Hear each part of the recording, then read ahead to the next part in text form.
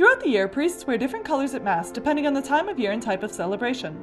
These are liturgical colors, colors used for the vestments and decorations of the liturgy. White, representing joy and purity, is used for the biggest celebrations the Christmas and Easter seasons, marriages, baptisms, and feasts of saints who were not martyrs. It's often used at funerals to represent resurrection. Red represents blood. It's used on Palm Sunday, Good Friday, and the feasts of martyred saints. Used for Pentecost and confirmation, it also symbolizes the Holy Spirit's fire. Purple symbolizes penance and preparation. It's used in Advent to prepare for Christ's coming, and Lent as we prepare for Christ's passion. Some parishes use bluish purple in Advent to honor Mary. Green, the most common liturgical color, is used in ordinary time, the parts of the church year outside Advent, Christmas, Lent, and Easter.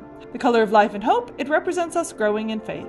We use rose twice, Gaudete Sunday in Advent and Laetare Sunday in Lent. Both names mean rejoice in Latin. Rose signals the joy to come. Black, a symbol of death and mourning, may be used at funerals, though it is no longer common.